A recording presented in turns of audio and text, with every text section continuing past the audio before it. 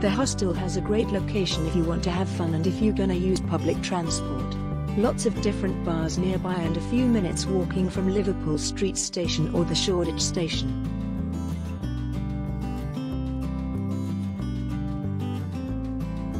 Air freshener in the ensuite toilet would have been good. A common problem with hostels are guests that come into the rooms really late and turning the main light on.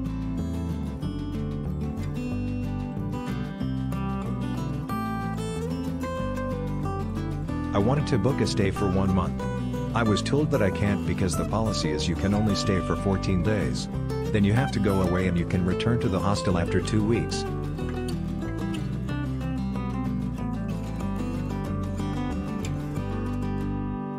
This is one of the hostel I used to see in the old days.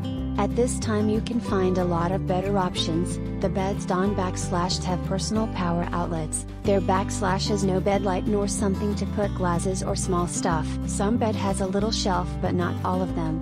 One of the staff members was rude to my friends when we were trying to check in. There was six of us and we were asking questions as the check-in process wasn't explained to us, and he was rude, short and not helpful with his answers. I do not understand the £5 cash deposit, especially nowadays that you pay with smartphones and credit cards. I am coming from abroad, so I do not bring with me local currency.